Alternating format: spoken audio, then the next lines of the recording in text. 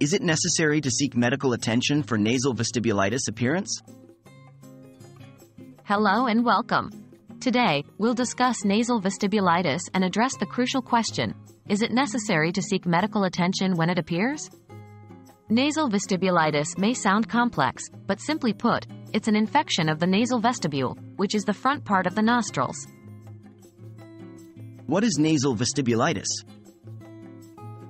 Nasal vestibulitis is an inflammation or infection at the entrance of the nose. It's usually associated with redness, tenderness, and sometimes even pimple like bumps. This condition can arise from various causes such as frequent nose picking, trauma, or bacterial infections. When should you see a doctor?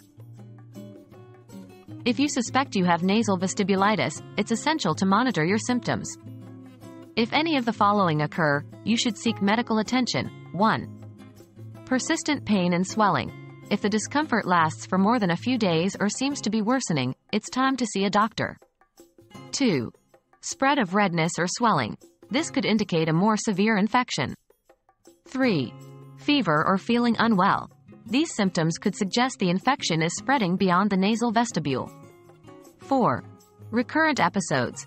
If you've had multiple episodes of nasal vestibulitis, a doctor's visit can help determine underlying causes and prevent future occurrences.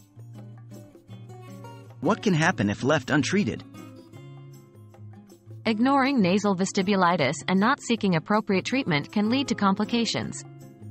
In some severe cases, the infection can spread, leading to cellulitis, a skin infection, or even to the formation of an abscess that might require surgical drainage. The proximity of the nose to the brain means infections can, in rare instances, spread to critical areas, so it's always better to be safe than sorry. While nasal vestibulitis might seem minor at first, it's essential to keep an eye on your symptoms and seek medical attention if they worsen or don't improve after a few days. It's always best to err on the side of caution and consult with a healthcare professional to ensure you're on the path to recovery. Stay safe and take care of your health.